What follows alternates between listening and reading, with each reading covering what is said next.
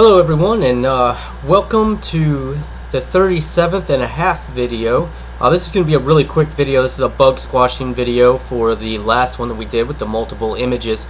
If you were having difficulty with your images uh, being repetitive and showing, say if you upload six of them, all six are the same, um, there is a quick fix for that.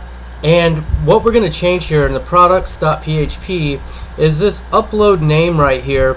Uh, we're getting the micro time and then we're hashing that. Well, if it happens too quickly, um, the micro time is the same for each one. So essentially all the images are getting the same name.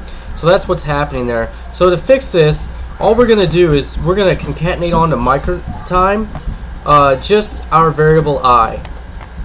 Okay, so that'll basically take micro time and then I add i to it and then hash that and that will give us different file names for each one.